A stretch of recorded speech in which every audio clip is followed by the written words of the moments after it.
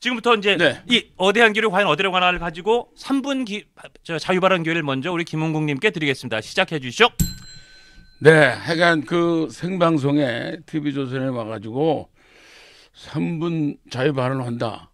저는 뭐 네 분들 다 훌륭하지만은 윤상현 후보, 나경원 후보, 또 원희룡 후보 다 훌륭한 분들이지만 자유 보수 우파 에, 국민의힘 당 대표의 그 한동훈 전 위원장이 저한테 약속을 지키고 저녁을 한 끼 먹고 지금도 문자를 서로 주고받는 그런 사이입니다.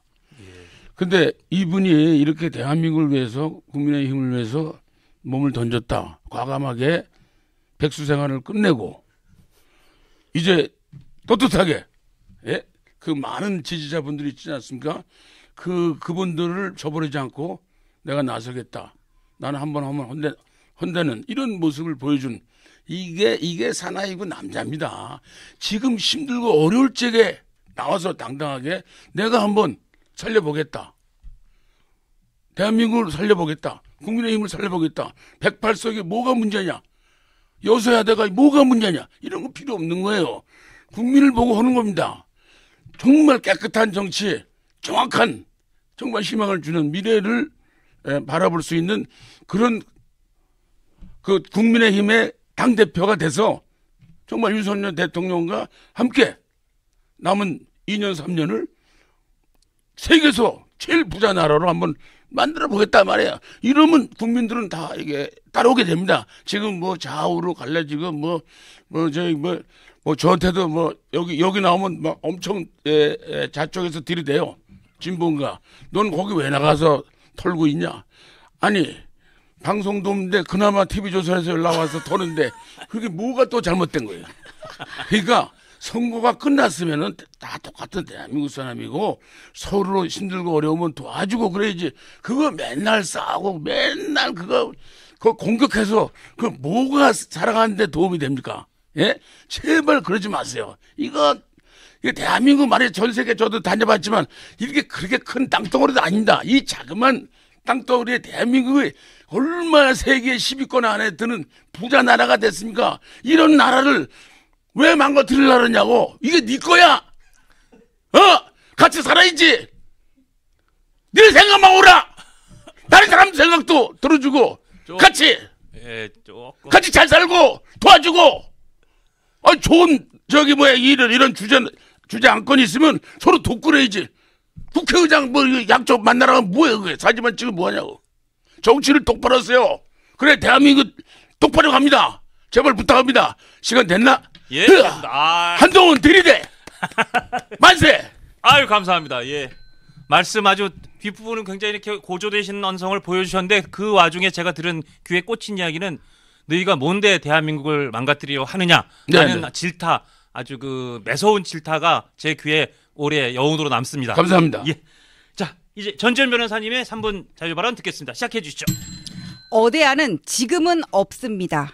어대하는 대선용입니다. 이재명 대표 민주당을 향한 게 바로 어대한입니다. 왜 그러느냐? 우리 국민의힘에는 인재가 너무 많기 때문입니다. 이번 전당대회만 보십시오. 하루 종일 모든 언론에서 국민의힘의 전당대회를 주목합니다. 왜 주목하냐?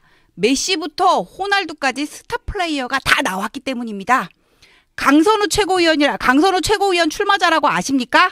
이재명의 시대를 열겠다고 하던 하더라고요. 예. 저는 그거를 듣고 아 불도저 앞에서 삽질하는구나 그런 생각이 들었습니다. 왜 이분들이 스타 플레이어인지 지금부터 하나씩 설명해 드리겠습니다. 나경원 의원 이분은 봉사와 헌신의 심볼입니다. 그 동작구를 아침에 새벽에 그 교회 가가지고는 같이 예배 드리고 종교시설 돌고 4년 동안 저녁을 거의 동작구 밖에서 먹은 적이 없다고 그러시더라고요. 노인정 인사드리면서 거의 같이 이렇게 셔터 내리고 나온 분이야. 그만큼 지역구를 열심히 닦았어요. 예. 한동훈 위원장 이름만 들어도 사실 설렙니다. 설레. 그 왜 그 있잖아 이름 갑자기 생각이 안 나고 그 가상화폐 좋아하는 그 이모 찾는 사람 있잖아요. 김남국 의원 아, 뭐 말고요. 그런 거 할까요? 예, 예. 남국. 뭐 해가지고 또뭐 비슷한 그 더맨더맨들 많은데 예. 얼마나 공격을 했어. 그걸 그냥 한 큐에다 일가를 해버렸잖아요. 그리고 또, 야, 이번에 지원 요새 달면서 좀 이게 과장 좀 보태가지고 당군 일에 가장 많은 인파를 몰고 다니셨어요. 그만큼 인기가 많고 우리 모두를 설레게 했던 사람이 바로 한동훈 후보입니다. 네, BTS예요. 예. 그다음에 원희룡 후보 수석, 수석, 수석과 수석으로 점철된 인생인데 너무너무 겸손해. 예. 인성과 컨텐츠와 정무감을 다 가지신 분이에요. 뭐 학교 수업 위주로 들었고 뭐 교과서 위주로 공부해서 수석했다 그러는데 사실 그건 좀 뻥 같거든요. 예, 그렇기는 하지만 뭐 어쨌거나 훌륭한 인재입니다. 그리고 윤상현 의원 이번에 4선이잖아요. 예. 지역구 다니면서 사람들하고 다 사진 찍고 얼굴 기억하고 이름 적었다 그러거든요.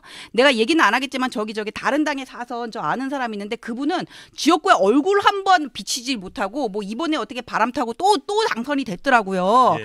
했는데 지역구에 얼굴 한 번 안 비치고 하는 일이 없다고 그렇게 욕을 먹었는데 비교되잖아요. 예. 그렇죠.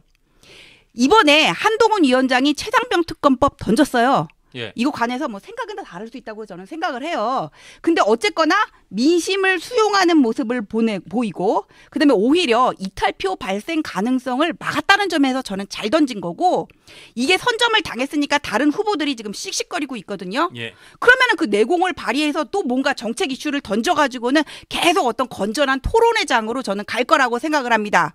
그래서 이런 스타 플레이어들을 보유하고 있는 국민의 힘이 저는 대한민국의 미래를 이끌 것이 라고 확신합니다. 예. 아, 3분 잘 지켜주셨습니다.